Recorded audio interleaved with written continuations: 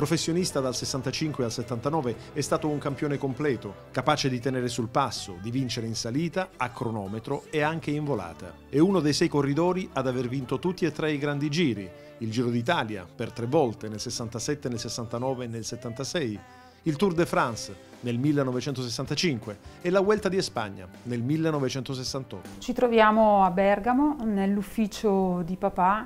lui lavorava, terminata la carriera di ciclista, come agente assicurativo. Questo è l'ufficio che ci ha lasciato ad agosto scorso per partire per le sue vacanze in Sicilia con mamma e tale quale l'abbiamo lasciato. Per noi è un rituffarci quando entriamo qui nei ricordi e rivediamo papà alla scrivania, vorremmo mm, mantenere tutto così come, come è. Ci troviamo a Bergamo, a circa 10 km dal paese natale di papà che è Sedrina. Papà è nato nel 1942 da una famiglia umile, viene oggi ricordato anche per essere il figlio della postina Angela. Nasce infatti da papà camionista e eh, mamma postina. Mm, una cosa particolare che forse non tutti sanno è che papà nasce settimino, Nasce Settimino nel 1942 e a otto mesi gli viene diagnosticata un'ernia eh, inguinale. Quindi il eh, medico del paese consigliò a mia nonna di fare le fotografie a papà perché sottoporre ad un intervento di ernia inguinale un bambino di soli otto mesi all'epoca era alquanto rischioso. Quindi noi ricordiamo questa bellissima fotografia di papà ad otto mesi per questo motivo l'intervento poi andò, eh, andò bene perché il seguito c'è stato.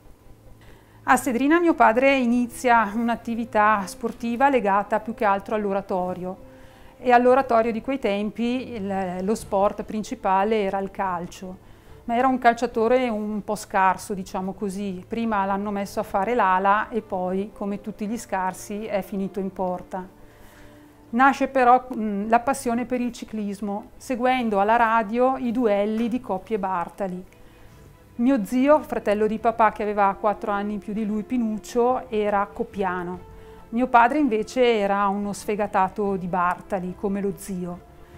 E quindi in famiglia le guerre tra mio padre e mio zio sono un ricordo che, che, che hanno tutti, che, che abbiamo tutti. La passione per lo, la bici lo porta a chiedere poi a mio nonno Mosè di acquistargli una bicicletta, ma all'epoca non c'erano tanti soldi, quindi mio nonno Mosè gli fece una promessa. Se mi paga il cliente dal quale devo riscuotere eh, la fattura, diciamo così, da un paio di anni, ti prometto che ti vado a comprare la bicicletta. Non so se è stato il segno del destino o una casualità, Quel cliente pagò a mio nonno la fattura e con quei soldi mio nonno comprò la prima bicicletta papà, un'Ardea tutta rossa, lui la, la ricordava sempre. Nel frattempo papà cresce, arriva eh, a fare anche il sostituto di nonna Angela, nonna Angela faceva la postina nel paese di Sedrina e quando doveva spostarsi nelle frazioni più in salita, quando la strada diciamo impennava, dava il compito a mio papà di portare e di recapitare la posta. Quindi il suo approccio con la bicicletta è un po' questo, l'ardea rossa e poi passa alla bicicletta da donna della, della mamma. Fa eh, una serie di scorribande con gli altri ragazzi del paese, eh, vanno addirittura a vedere i mondiali eh, di coppi e devo dire che quel ricordo rimase eh, sulla pelle di papà. Eh, molte volte raccontava l'emozione di aver visto il, il grande coppi. Dopodiché l'oratorio del paese di Sedrina decide anche di fondare una piccola squadra di ciclismo. Nasce così la Sedrinese e papà insieme ad altri 4-5 ragazzotti del paese eh, inizia a correre. Stiamo parlando del 1959 più o meno, quindi papà aveva 16 anni, gareggiava nella squadra degli allievi. La prima corsa a cui si iscrive si disputa a Treviglio. Treviglio è diventata poi, eh, dopo diversi anni, una cittadina importante per papà perché Treviglio è sede della Bianchi e guarda caso la sua prima corsa la disputa proprio a Treviglio. Raccontava sempre che per arrivare alla partenza della gara caricarono tutti i ragazzi della Sedrinese sul furgoncino del fruttivendolo, sul cassone dietro e loro erano costretti a tenere le biciclette perché a causa delle vibrazioni tremava tutto. Arrivarono a Treviglio, papà partecipò alla gara, e mm, tagliò il traguardo, diciamo così, quando avevano già tolto lo striscione, quindi ultimo, con una serie di, di, di cadute. Ma subito eh, da quell'episodio e da quella prima gara venne fuori la determinazione di mio padre, perché malgrado le cadute, malgrado fosse arrivato all'arrivo, quando oramai non c'era più nessuno, avevano tolto lo striscione, ehm, la sua determinazione nel perseverare in quello che per lui era uno sport, una passione, eh, rimase immutata, anzi ancora di più eh, dentro di lui ehm, vi era la volontà di dimostrare eh, quanto potesse fare con la bicicletta, quanto potesse arrivare lontano e con la Sedrinese papà si tolse davvero tante soddisfazioni. Arrivò anche a fare tre anni da dilettante e nell'ultimo anno da dilettante con la selezione nazionale vinse nel 1964 il Tour dell'Avenir particolare di quel tour del 64 fu che papà dalla Francia chiamava a casa per sapere se le squadre professionistiche si erano fatte vive per ingaggiarlo, perché avrebbe voluto passare professionista quell'anno. Ed effettivamente eh, si fece vivo Albani, che andò a, a conoscere i miei nonni a Sedrina insieme ad Ernesto Colnago, che allora era il meccanico della Molteni. Il problema è che Albani aveva già ingaggiato per il 65 un altro dilettante di ottime speranze a livello lombardo, Gianni Motta. Quindi si creò il problema di dover far convivere papà con Gianni Motta alla Molteni. Per quello diciamo, eh, il contratto sfumò. Qualche giorno dopo il signor Ghisalberti, che si occupava un po' di, di queste cose per mio padre, lo chiamò in Francia per dirgli guarda che eh, sono stati qui i fratelli Salvarani, l'anno prossimo gareggerai per la squadra di Parma. Il 64 quindi eh, anno importante con la vittoria al Tour dell'Avenir, ma altrettanto importante per la partecipazione alle Olimpiadi di Tokyo, dove papà fu selezionato. Non fece un grande risultato perché se non sbaglio arrivò 33esimo al traguardo di una gara vinta da un italiano, Zanin, ma mm, diciamo che quel Tokyo 60, 64 è stato un preambolo di una grande sfida. Perché? Perché all'ultimo giro dal gruppo esce un corridore belga. Un corridore belga di potenza, di forza. Dopo qualche chilometro dal gruppo esce un corridore italiano ed è Felice Gimondi. Si trovano quindi in testa due corridori, un belga e un italiano i loro nomi sono Eddie Merckx e Felice Gimondi. Quello è il primo incontro che hanno a livello agonistico, vengono poi riassorbiti dal gruppo e Zanin vince eh, la, la, volata. Eh, è stato quindi un, un, incontro a Tokyo tra due campioni che secondo me hanno poi eh, scandito le pagine più importanti del ciclismo dalla fine degli anni 60 fino ai primi anni 70. Nel 64 quindi papà torna a Sedrina con la maglia gialla del Tour dell'Avenir e con la maglia azzurra della nazionale, sapendo che l'anno dopo sarà un corridore a tutti gli effetti del team Salvarani. E in Salvarani papà fa due incontri eh, importanti. Da una parte Luciano Pezzi, che è stato il suo direttore sportivo, che è stato senz'altro la persona che l'ha portato a conoscere il mondo del ciclismo, che l'ha aiutato a capire determinate dinamiche eh, e che è stato per papà un secondo padre. E incontra anche quello che eh, nel 65 era il suo capitano, cioè Vittorio Adorni. Vittorio è stato importante non solo a livello agonistico perché da eh, giovane leva qual era papà lo misero subito in camera con Vittorio, quindi il capitano che faceva un po' da chioccia a questo giovane corridore bergamasco, tra l'altro un corridore di Parma eh, molto bravo a parlare, socievole, di empatia, con un ragazzo un po' musone della Valle Brembana che poco parlava, quindi Vittorio ogni tanto racconta che stavano in camera ma era quasi un monologo perché parlava solo lui e papà ascoltava, ma lo ascoltava con molta attenzione perché Vittorio sotto questo profilo era davvero un bravissimo tattico di corsa, quindi molto ha passato a mio padre e molto l'ha aiutato in quel primo anno. Vittorio è anche importante per mio padre e per la nostra famiglia per un altro motivo, perché presenta mia mamma Tiziana a papà. Siamo nel eh, ritiro Salvarani di inizio 65. La Salvarani era in ritiro presso l'albergo dei nonni di mia mamma a Diano Marina, perché la Salvarani all'epoca faceva il ritiro di primavera in Liguria. Eh, Vittorio, che già conosceva i miei nonni perché era stato in albergo gli anni prima, sempre con la Salvarani, presenta papà a mamma. Papà all'epoca aveva eh, 23 anni e mia mamma ne aveva 16, quindi per noi la figura di, di Vittorio Adorni è anche legata alla, alla famiglia. Nel 65 papà parte subito forte, eh, arriva terzo al Giro d'Italia, classifica finale, vinta dal suo capitano Vittorio Adorni. I fratelli Salvarani sono già contentissimi per quanto papà ha raggiunto nei primi mesi di professionismo, però gli propongono di partecipare al Tour de France in sostituzione di un compagno che doveva partire ma che all'ultimo momento ha dei problemi di salute e quindi hanno bisogno di far partecipare un altro corridore al suo posto.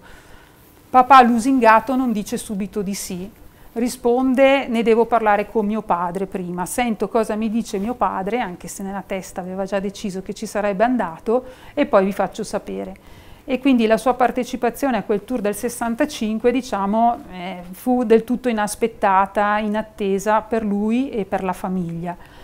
Di fatto papà va, i fratelli Salvarani gli dicono di star tranquillo, che può correre anche soltanto una settimana per fare esperienza, e poi può tranquillamente ritirarsi. Non era lì per vincere e tantomeno per fare classifica, ma era lì per fare esperienza. Bene, arrivato eh, al Tour de France si mette subito in luce nelle prime tappe e indossa anche la maglia gialla.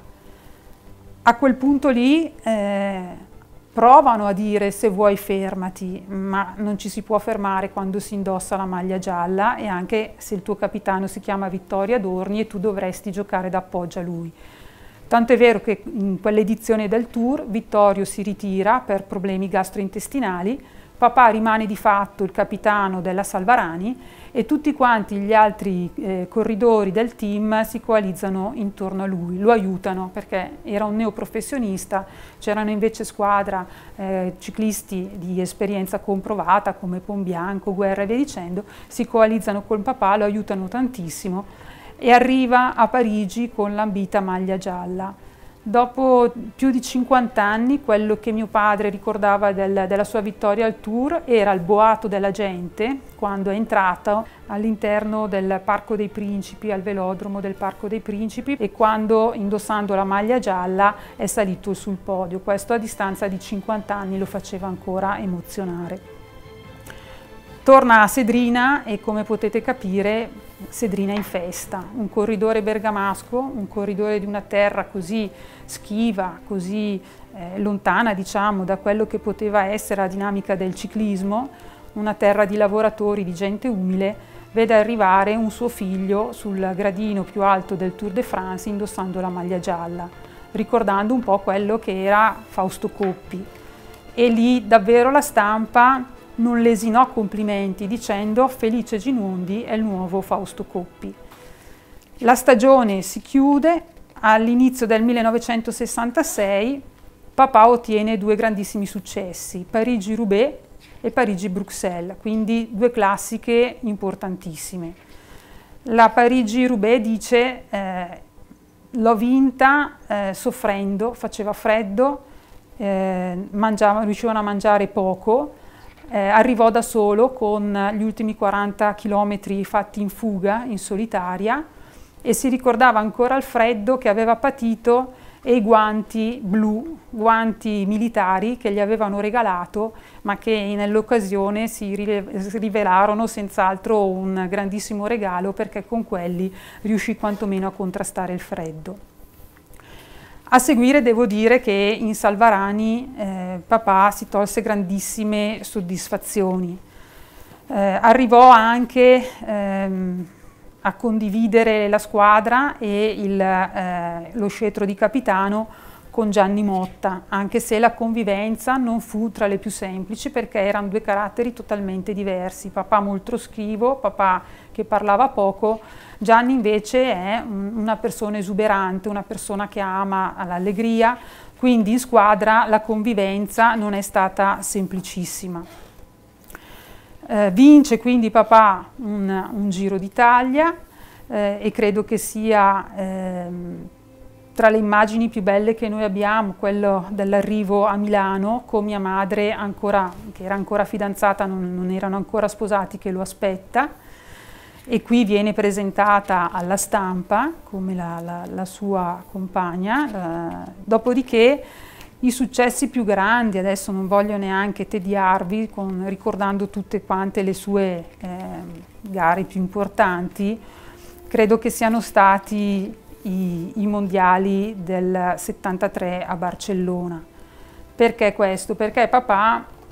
dal 65 al 66, io credo al 67 sia stato il corridore più forte. Nel 67 si affaccia quel corridore belga che lui aveva incontrato alle Olimpiadi di Tokyo, Eddie, Eddie Merckx. All'inizio pareva dovesse essere un gran passista con doti da velocista e invece poi Eddie si rivelò un, un campione a 360 gradi, eh, bravissimo a cronometro, bravissimo nelle corse a tappe, eh, non lasciava nulla ai suoi avversari, tant'è vero che fu soprannominato il cannibale. E papà in questi anni eh, soffrì molto la presenza di Eddie in gruppo perché se dal 65 al 67 eh, poteva definirsi il corridore più forte, quindi poteva impostare la corsa come più gli piaceva, partendo anche da lontano, quindi con fughe a 50-60 km dall'arrivo, quando Eddie inizia a dettare la sua legge, eh, fughe di questo tipo non sono più possibili, non sono più possibili perché il principio è quello di aspettare quello che fa Eddie, quindi non si parte più a 50-60 km dal traguardo, perché se poi parte Eddie ti stacca e ti lascia lì da solo e fai anche brutta figura, quindi bisogna reimpostare la tattica, bisogna rivedere eh, la, la, il modo di correre e papà in questi anni effettivamente eh, fa un po' di fatica, ma non molla, non molla perché è determinato, perché ha sempre detto che Eddie era senz'altro il più forte di tutti e lui doveva essere il primo degli umani, cioè il primo corridore che arrivava dopo quello che era un supereroe, un superuomo, il primo degli umani doveva essere lui. E c'è una frase che mi piace molto perché dice non sono il primo dei perdenti, ma sono l'ultimo ad essermi arreso quando arrivo dietro, dietro a Eddie. La corsa che secondo me papà eh, ricorda di più riferendosi, ricordava di più riferendosi ad Eddie è stato il eh, campionato del mondo a Mendrisio. Un campionato duro, un campionato dove ci sono diversi giri da fare, da compiere con una salita particolare e papà ed Eddie rimangono da soli loro due. Eh, mi raccontava papà che ad un certo punto non stava neppure a ruota di Eddie perché viaggiavano paralleli. Il perché dovesse viaggiare parallelo era semplice, doveva fargli capire che stava bene, che era forte, che non stava a ruota, perché ad Eddie bastava lasciare mezzo metro e non lo prendevi più. Quindi il fatto di stare appaiati, di stare a gomito a gomito, era un modo per dire guarda che oggi sto bene, guarda che oggi ci sono e non ti mollo. E relativamente a questa corsa, cioè il campionato del mondo di Mendrisio, io credo che abbia ispirato il cantante Enrico Ruggeri eh, quando ha eh, preparato la canzone che poi ha dedicato a mio padre e che fa proprio riferimento al fatto che eh, Felice Gimondi non mollava la ruota di Eddie Merckx. Felice Gimondi dice quando ti girerai io sarò lì, non ti, non ti lascerò e quello fu un campionato del mondo particolare perché poi ehm, ritornato a casa papà si accorse che aveva avuto una contrattura alla mandibola, cioè visto che non voleva mollare la ruota di Eddie, continuava a stringere la mandibola, a stringere i denti e al termine della corsa si rese conto di essersi procurato quasi una lussazione della mandibola proprio per lo sforzo che aveva fatto per non lasciare il rivale di sempre. Come ho detto poi, sempre relativamente ai mondiali, la gara che papà ricordava e che per lui è stato suggello di una carriera fantastica è stato il mondiale di Barcellona. quando ne parlava diceva subito mi sentivo una responsabilità particolare perché eh, il tecnico da allora eh, aveva deciso di lasciare a casa Motta e di portare solo me, quindi ero a tutti gli effetti il capitano unico, ma mi sentivo la responsabilità perché era stata fatta una scelta importante, quindi avrei dovuto dare non il 100% ma il 110%. E a quel mondiale di Barcellona papà arriva senz'altro in ottima forma Tanto è vero che nel giro finale rimangono soltanto quattro corridori, Eddie Merckx, Martens, Ocagna e Papà. Quindi due belgi, un italiano e uno spagnolo. Se dovessimo mh, mm, contare le gare che questi corridori in carriera hanno vinto, eh, ci impressioneremmo perché non dimentichiamo che Martens vinse poi due campionati del mondo, non dimentichiamo eh, il palmarès di Eddie Merckx ma anche quello di Ocagna che era un atleta spagnolo eh, completo, eh, davvero mh, mm, molto bravo, per il quale mio padre aveva una grandissima stima, quindi quattro atleti top player possiamo dire. Nell'ultimo giro di questo circuito del mondiale che si disputava proprio a Barcellona su un percorso duro perché con saliscendi e con strappi anche all'8-9%, papà decide di tenere la ruota di Eddie, quindi di non fare scatti, di eh, non sprecare energie, ma eh, di mettersi a ruota di Eddie per vedere tatticamente cosa intende fare il più forte. E ad un certo punto vede che Eddie parla con Martens Eddie e Martens erano entrambi della nazionale belga, soltanto che Martens era un neoprofessionista, Eddie era il capitano, il veterano, il campione con eh, più titoli al mondo. Quindi Eddie dà istruzioni, diciamo così, a Martens di tirargli la volata. A quel punto papà capisce, capisce perché vede come Eddie si rapporta a Martens e per questo motivo a maggior ragione decide di stare a ruota di Eddie. Nell'ultimo chilometro, così come papà aveva previsto, Martens parte molto secco per tirare la volata ad Eddie Merckx. Papà dice che lì, su, a quel punto, vede però Eddie che non è l'Eddie di sempre, fa fatica a partire, fa fatica a prendere la ruota di Martens e quindi in quel momento papà decide a sua volta di anticipare Eddie Eddie molla, nel senso che si rende conto che non è in grado di vincere, Martens si accorge che il suo capitano è in difficoltà, allora a quel punto duella col, con papà che stava rimontando. E papà che qualche gara in pista l'aveva fatta apre un po' un, il gomito per, eh, diciamo così, per difendersi e taglia per primo il traguardo eh, è stata senz'altro quella la vittoria eh, che ha suggellato, io credo, una carriera importantissima perché indossare la maglia iridata eh, e sul podio vai a finire con Martens e Ocagna è stata senz'altro, secondo me, eh, una gara tattica perfetta eh, e forse pochi quando hanno assistito all'ultimo giro dalla televisione avrebbero scommesso su papà, forse solo i gimondiani che sono ancora tanti oggi malgrado siano passati 50 anni, ma tanti l'avrebbero dato molto probabilmente per perdente, ma non battuto semplicemente da Eddie, ma molto probabilmente del quartetto poteva ambire ad un terzo posto. Invece no, vince, suggella, ripeto, una carriera importante, L'anno dopo, eh, alla Milano-Sanremo, papà arriva in via eh, Cavallotti con la maglia di campione del mondo alzando le braccia al cielo. Quindi finito il mondiale, portato a termine il mondiale, papà non smette di fare il corridore, rimane con la testa sulle spalle, grande professionista, continua eh, ad allenarsi d'inverno, e arriva subito a marzo in ottima forma e con quella maglia di campione del mondo sfreccia sulle, eh, sulle strade della Liguria eh, che aveva dato, che ha dato ai Natali la mia mamma e arriva da solo a tagliare il traguardo della Milano-Sanremo. Altro secondo me importante trionfo di papà è stato l'ultimo Giro d'Italia vinto nel 1976 era definito il vecchietto del gruppo, anche lì molti probabilmente non lo davano per vincente, invece eh, arriva a Milano con la maglia rosa. Arriva a Milano con la maglia rosa vincendo una tappa bellissima nella sua Bergamo. L'arrivo era qui a qualche chilometro davanti al Teatro Donizetti,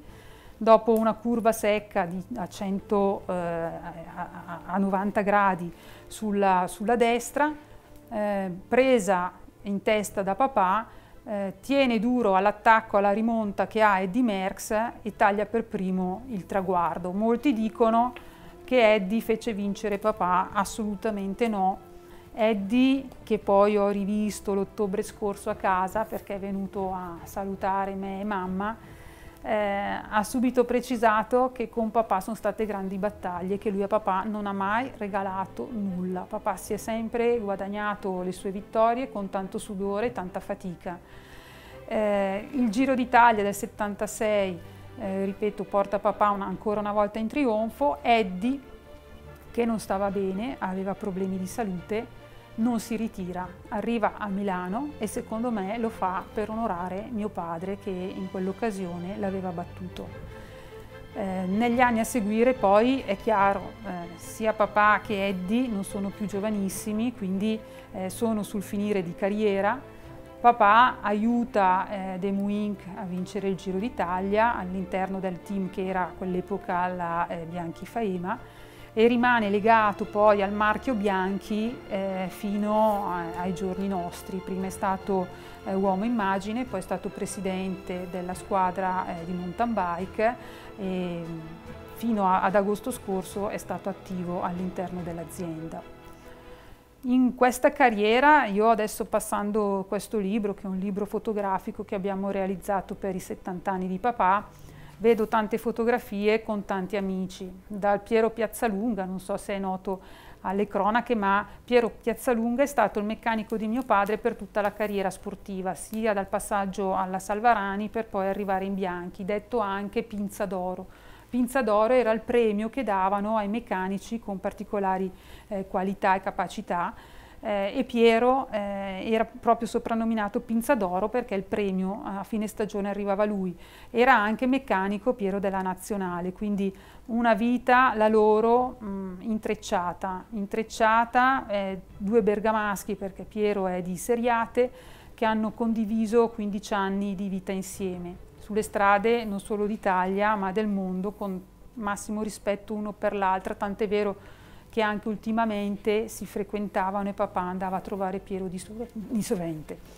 Vedendo questo libro non posso non richiamare anche un altro amico di papà, che è eh, Giancarlo Ferretti. Giancarlo Ferretti è stato suo gregario alla Salvarani e poi direttore sportivo alla Bianchi sul finire di carriera. Giancarlo, detto anche Ferron, era eh, una persona particolare, uno degli amici più fidati, uno dei gregari più fidati di papà ad inizio carriera. Con lui poi ce ne sono stati tanti, c'è stato Tony Ubrecht che era un corridore belga che ha corso diversi anni con papà, eh, c'è stato Giacinto Sant'Ambrogio, un corridore di Seregno che ha corso in Molteni e poi in Bianchi, con lui, anche con lui condivideva non solo eh, le gare ma anche gli allenamenti perché vivevano vicini e noi come famiglie ci frequentavamo. Sergio Persani che era di Bergamo e che passò professionista alla Bianchi insieme alla, a, a, papà come capitano e, e tanti altri che, coi quali il ciclismo di allora consentiva, io credo a differenza di quello di oggi, di poter instaurare rapporti umani, rapporti che andavano ben oltre il semplice dato lavorativo, ben oltre il fatto che eh, si portasse la stessa maglia, eh, rapporti che eh, si consolidavano poi negli anni e che anche a distanza di 30 o 40 anni erano ancora vivi. Questo lo posso dire perché quando poi l'anno scorso è scomparso papà abbiamo avuto tanti eh, ex compagni di squadra, tanti anche ex eh, antagonisti eh, starci vicino, chiamarci, eh, addolorati per quanto è capitato. Il ciclismo moderno forse in questo manca un po'. Devo anche dire però che mio padre quando correva da capitano imponeva, tra virgolette, i propri gregari, cioè gli uomini, i due o tre di fiducia suoi, con i quali si allenava, ai quali eh, dava la massima fiducia, li imponeva alla squadra, quindi chiedeva che fossero ingaggiati e che continuassero con lui anche nelle stagioni successive. Oggi, per dire un atteggiamento di questo tipo, non c'è più il capitano, forse un po' in termini un po' più egoistici, pensa a se stesso e non valuta invece quanto sia importante, facendo una vita spesse volte fuori casa per lunghi periodi, anche avere accanto a sé persone di fiducia che non siano soltanto validi sotto un profilo lavorativo, ma anche che umanamente siano in grado di supportarti. E papà in questo era senz'altro una persona molto intelligente, perché ripeto, dal meccanico Piero Piazzalunga, al massaggiatore Atos Pirovano, ai vari eh, eh, gregari che ha avuto, cercava comunque di, di attorniarsi di un entourage eh, del quale si fidava, che gli dava serenità, non solo in corsa, ma anche poi eh, quando si era in albergo, prima delle gare, eh, e questo lo aiutava ad affrontare senz'altro la lontananza da casa nel migliore dei modi. Il ricordo più bello che ho è legato a un episodio di, di, un paio di anni fa perché chi mi ha messo in bicicletta è stato papà. Io quando lui era alle corse avevo una biciclettina con le rotelle passavo il pomeriggio a girare su questa biciclettina insieme a mio cugino Massimo, a mia cugina, facevamo le gare in casa, diciamo così. Non ha mai voluto eh, fino ai 20 anni eh, che io acquistassi una bicicletta da corsa, perché all'epoca la bicicletta da corsa era solo per i maschi, quindi per le donne la bicicletta da corsa era una cosa pericolosa, il manubrio fatto in questo modo era difficile da gestire, quindi non me l'ha mai acquistata. Me la sono comprata io quando ho iniziato l'università, naturalmente è stata una Bianchi. Beh, quello che volevo dire è che mi ha insegnato lui ad andare in bicicletta perché mi ci portava lui. Mi ci portava lui e eh, mi faceva fare una fatica tremenda, tremenda perché lui si metteva davanti, pronti via, e ti diceva tu stammi a ruota. Eh, il problema era stare a ruota perché non riuscivo a tenere la ruota, quindi lui andava, primi chilometri tenevo duro, pur di star lì, però quando si girava e mi veniva indietro di 20 metri, anziché incoraggiarmi, mi diceva ti avevo detto di stare a ruota così facevi meno fatica, facevo fatica anche a ruota io sostanzialmente. Però testa dura ho continuato e sono felice di aver ereditato da lui questa passione. Dicevo, un paio di anni fa siamo usciti in bicicletta insieme in Riviera, noi abbiamo una casa di Anomarina, quindi ad agosto uscivamo in bicicletta io e lui facendo i vari capi, Capoberta, Capocervo e poi l'entroterra mi sono accorta che non andava più tanto forte quando affrontando un capo io davanti e lui dietro non lo sento più. Però non mi volevo girare perché ho detto se mi giro mm, ed è lì poi mi parte e faccio fatica io a riprenderlo. Quindi sono arrivata in cima e ho visto, arrivando in cima al capo, che effettivamente si era sfilato, ma in modo molto intelligente riusciva a cambiare, a dare la cambiata in maniera talmente silenziosa che tu davanti non ti accorgevi che lui era in difficoltà. Ti stupivi per il silenzio, quindi quello che era anomalo è il fatto di non sentire la presenza lì. Ma non avevi eh, contezza proprio immediata perché non sentivi la cambiata, cioè non ti rendevi conto che lui era in difficoltà e quindi stava cambiando. A quel punto lì dentro di me ho detto, to, va che ho battuto Gimondi. e questo è il ricordo di mio papà, eh, è stata una persona eccezionale, eh, sono sicura che avrebbe insegnato molto a tanti altri ragazzi, come ha fatto perché sotto di lui sia in ambito ciclismo, di ciclismo professionistico che di mountain bike sono cresciuti tanti ragazzi che poi sono diventati campioni. Dovremmo avere, secondo me, la capacità di valorizzare queste persone che hanno fatto tanto, hanno dato tanto e che hanno molto da trasmettere a chi oggi parte eh, da ragazzino e può trovare nello sport, in modo particolare nella bicicletta, una sua realizzazione, sia come uomo che eh, come professionista, come qualcuno che di una passione può davvero farne un lavoro.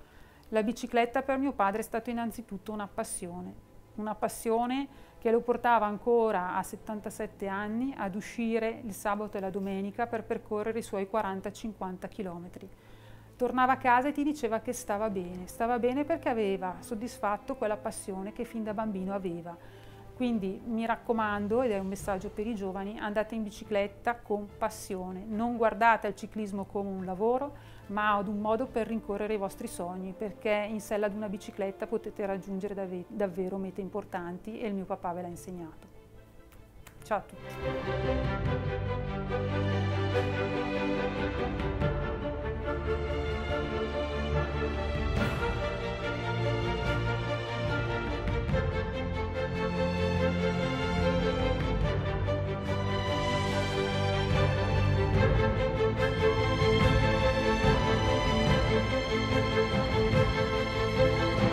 Volte inventare di fare un qualcosa è facile, il problema dopo è durare.